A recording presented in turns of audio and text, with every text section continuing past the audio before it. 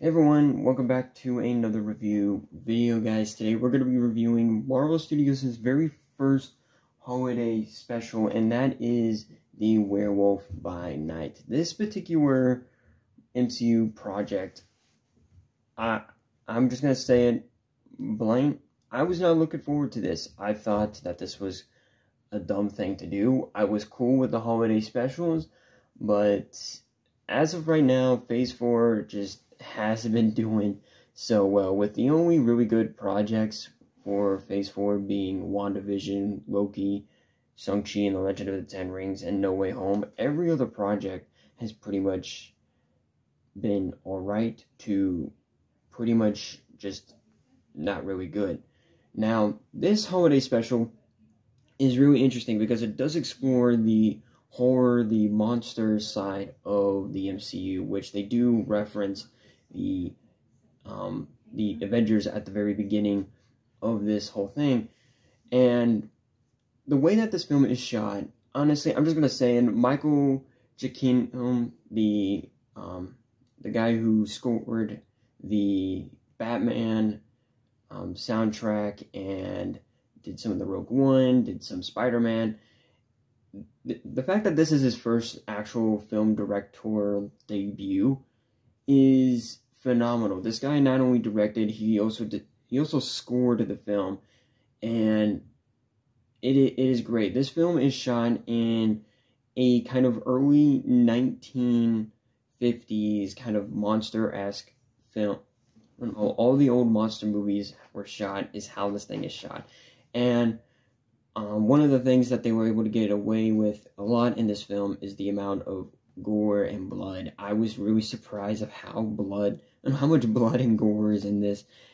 And the fact that they were able to do it in black and white and the fact that they were able to get away with it is in my opinion phenomenal. This was it was kind of insane for me to see how much how dark they were going to go with this. And this is what i really liked about it is because of how dark it went and had no problem going into the horror how dark it was going to get how much gore. And in this movie the fact that it is a pretty much a pg-13 movie they did the they did the amount of blood the gore the limbs getting cut off perfectly. And honestly with the way that Doctor Strange and the Multiverse of Madness, I, what I was hoping it would be, is what I was is what I got in this holiday special.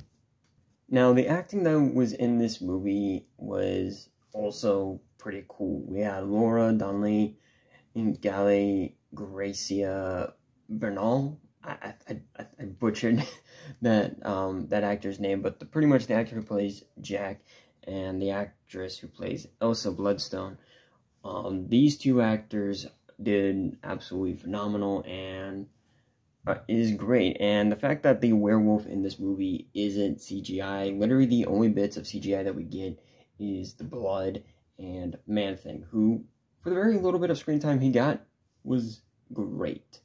Um, but every pretty much everything in this holiday special is what I wanted with a darker MCU story. This is what I, like I said, was hoping to see in Multiverse of Madness. Yes, we did get some of the Sam Raimi horror, but they did not go as dark as I wanted it to go. So, and, and luckily enough, Michael Giacchino did phenomenal, and I want to see more um, short films directed by him like this. I can't wait to see what they're going to do with Blade in the future. And particularly with Jack, aka the werewolf, and Iris, oh no, not Iris, Elsa Bloodstone. I can't wait to see what they do with these characters, and Man Thing as well. And yeah, I, I have no complaints. Werewolf by Night was an excellent holiday special, and I can't wait to see what comes next. So, with that being said, guys, I'm going to give this holiday special a 10 out of 10. In my opinion, in the top 5 MCU Phase 4 projects, and personally for me, like, personally for me, it's in the top 5. So, anyway, with that being said, I'll see you all very soon. Peace out.